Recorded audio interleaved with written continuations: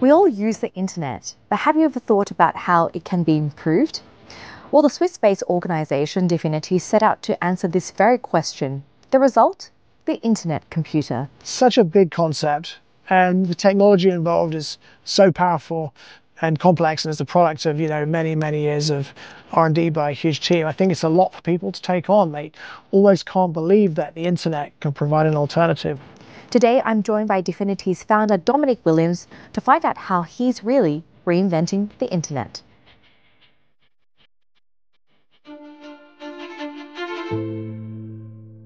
So first of all, Dominic, welcome to Davos. Thank you so much for joining us. Thank you for having me.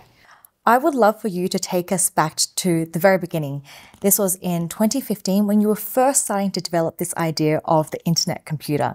Just walk us through what was going through your mind then. Well, I'd been working on making decentralized networks much faster for, for a while and, and grappling with the theoretical computer science that underpins them. And, uh, you know, at some point it became apparent to me that it would be possible to create the internet computer, a real world computer, if you like, that could um, uh, provide a public infrastructure that acted as an alternative to traditional IT. Um, so that people could build websites, web applications, and internet services directly on the internet itself. And really, the aim was to create a better compute platform. And one analogy is that you know you're in the field of transport and you suddenly realize that an aeroplane is possible. Um, and of course, once I saw that it was possible, I became obsessed with realizing the, the vision. How should regular individuals like you and I think about using the world computer in the future? How will this really change our daily life or just make things a little more seamless? Um, if you've wanted to build on the internet computer, you'd have needed to be um, a developer and have technical skills. Um, we're now entering a new phase um, where there's a paradigm called the self-writing internet emerging. And with the self-writing internet paradigm, you can just, if you like, talk to an AI and it will build, update, and manage websites, web applications, and internet services for you. And we think this is going to be transformative because it effectively makes um, all 8 billion people on Earth into developers. So, you know, you might be an individual that wants a personal branding website, a wedding planner, a portal for a club.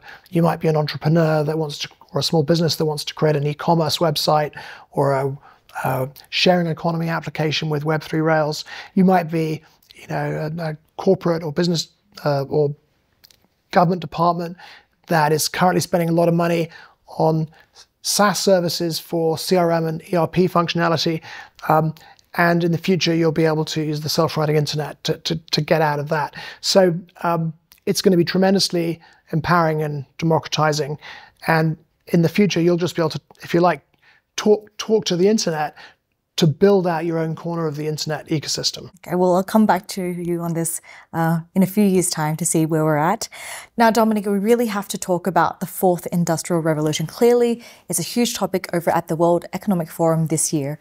How do you think that Dfinity can really play a role in this bigger picture? First of all, it provides the world with an alternative IT stack um, that's a public infrastructure. So people can build on the internet itself using a new kind of software, and they'll not be captive customers of a big tech corporation running a cloud service or um, selling a database or something like that. Secondly, when they build, uh, their website, web application, internet service will be tamper proof, which means immune to tra traditional forms of cyber attack. And this addresses one of the most pressing problems in, in, in, technology today. And lastly, um, the self-writing internet will allow people simply to talk to AI to create, update, and manage uh, websites, web applications, and internet services. And that's going to be um, empowering and to, to, a tremendous number of people uh, around the world and really sort of democratize access to the tech economy and change how we think about the internet. Because instead of you know buying pre-existing um, products and services and trying to customize them, people will just talk to AI and get exactly the service they want, and it's going to be sovereign. Um, they're not going to be captive customers. They're going to own the underlying software, even though they won't modify it themselves. And that's going to just change the nature of the internet and the nature of the tech economy. I think it's important also to weave in here artificial intelligence, obviously the talk of the town.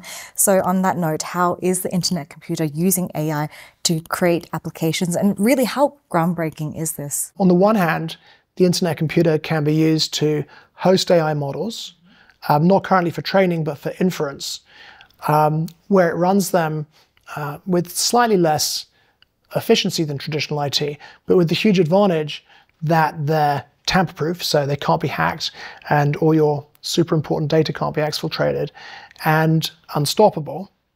And on the, the, the other um, hand, uh, the internet computer supports something called the self-writing internet. So we believe in the future that um, every, everyone on the planet who can um, speak natural language is potentially a de developer and owner of websites, web applications, and internet services. And in the future, people will just talk to AI um, and then refresh a URL to create what they want, and uh, in a way build out their own corner of the internet e ecosystem. And the internet computer um, supports a lot of advanced computer science that makes it feasible for AI um, to build, uh, update, and manage these websites and web applications and internet services on behalf of you know non-technical users who just simply issue natural language instructions. So the WEF is taking place this year and you've covered a lot of ground already, but there's going to be a host of businesses and leaders, tech leaders out there joining this event. What would be the kind of messages you want to share with them who they might be still sitting on the fence about the world computer and thinking about where that's going to go? Well, there are lots of reasons why um, people at WEF should support the Internet Computer Project. Firstly, it's very important to have a public infrastructure that people can build on as an alternative to big tech. People should have a choice. And many of the benefits that the internet brought as a network um, are also brought by the internet computer as a compute platform. So that's one reason it's important. Another reason it's important is that cybersecurity is an increasingly um, big threat to the world. And the internet computer provides the solution because when you build a website, internet service, web application on the internet computer, it's tamper-proof, which means that it's it's immune to traditional forms of, of cyber attack. You don't even need a firewall to, to protect it. So it provides the world with a solution to that. And thirdly, the self-writing internet paradigm will be a tremendous democratizing and empowering force around the world. I think it's safe to say that uh, really a lot has happened since you first came up with this idea about a decade ago.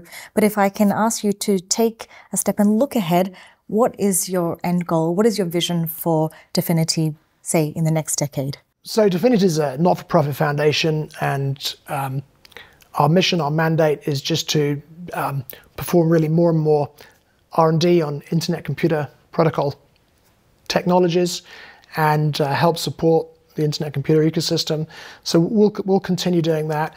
The, the network's been growing very fast, so um, it grew more than 500% last year. So we'd like to see um, that continue and, and, and compounding at 500%. And for the internet computer to really establish the world computer paradigm um, such that for very many people around the world, it's the default choice when they want to build um, you know, a website, web application, or internet service, and also to um, change the way some internet services run. So, for example, there's already some internet services running on the internet computer um, that run under the control of digital governance systems. So they run under the control of their communities, um, who have you know take full responsibility for managing them, updating their code, and so on. Um, and then beyond that, I I think the self-writing internet paradigm is going to you know fundamentally transform the tech landscape and change how people think about the internet you know, in the future, people are just going to talk to the internet to create their own part of the internet ecosystem. And that's going to be tremendously empowering and democratizing and will fuel um, economic growth, I believe, um, ar- around the world. So, um, you know, I, I, hope even, you know, in two or three years from now, the self-driving internet is going to be an absolutely huge thing. I think a lot of things you talk about, we still can't get our head around just yet, but it's going to come. I hope so. Yeah. Well, it sounds that you're definitely going to have a very busy next couple of years, and we'd love to get an update in the next year. Yeah. Thank you so much for joining us here in Davos. Thank you.